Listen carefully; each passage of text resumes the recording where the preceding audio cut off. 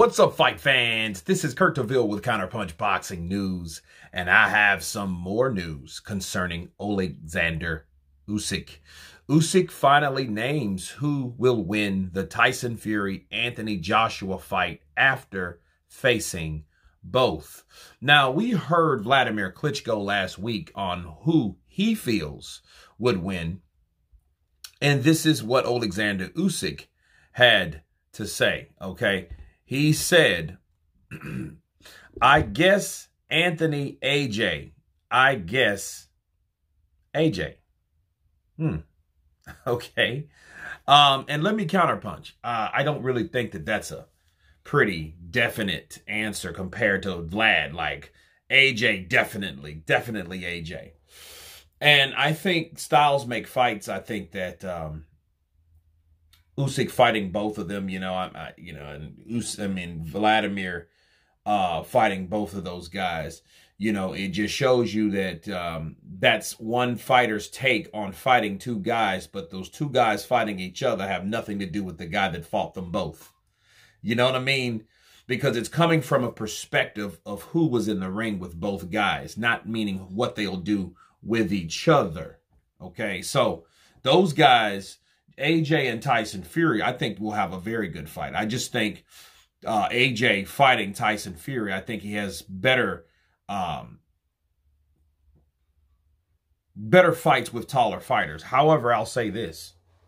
What makes it interesting to me with Tyson Fury versus Anthony Joshua is what Anthony Joshua did with uh, Robert Helenius. And Robert Helenius did a very good job with AJ. Had it, he had AJ busted up, bro. AJ was the shorter guy, shorter reach. He necessarily wasn't the faster guy. Robert Helenius was throwing chopping quick shots and getting out of dodge, but he was using his height as well. So when Joshua come, tried to come in with that straight uh, that double left and that right hand, he was missing all night and he was getting countered. So what does that mean?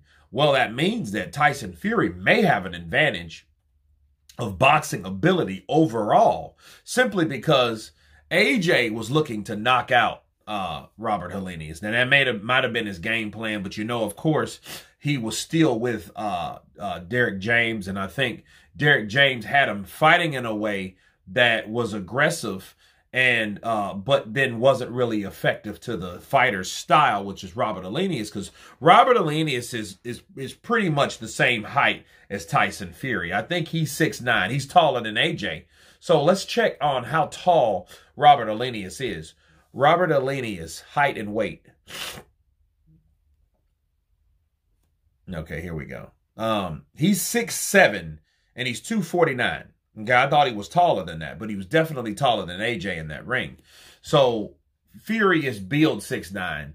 I don't know if he's definitely six nine because he looks like he's the same height as Robert Helenius, to be fair.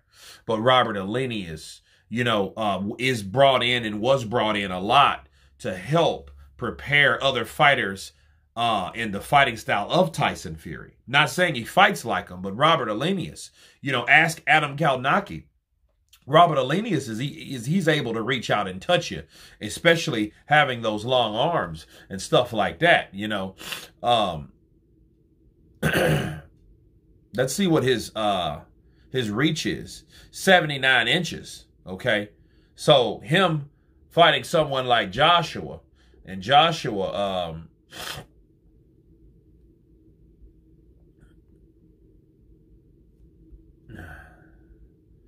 so Joshua's weight in reach is 82, but it didn't really matter because Helenius had a shorter reach, but was still able to catch him, reach out and touch you.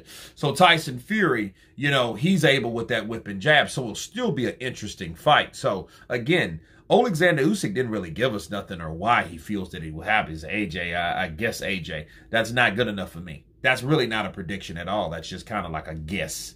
That is not even an educated guess simply based on the way he uh, answered and then it was it was it was kind of some wishy-washy type stuff and that may be due to the fact that you know, AJ and Usyk has a have a better relationship. I know Vladimir Klitschko and Joshua has a way better relationship than Vladimir and Tyson Fury ever will have. Because there will always be bad blood between Vlad and Tyson Fury, I think. I think they will always be at each other's neck. Don't matter how old they get, I think that will be like some Lennox Lewis versus Riddick Bowe type stuff. The only difference was that Vlad actually fought Tyson Fury, right? And lost to Tyson Fury after a long streak of victories, right? So I always think that that would be a factor.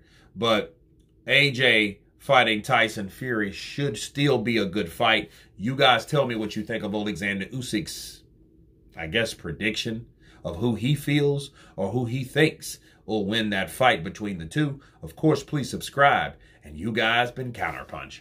Peace!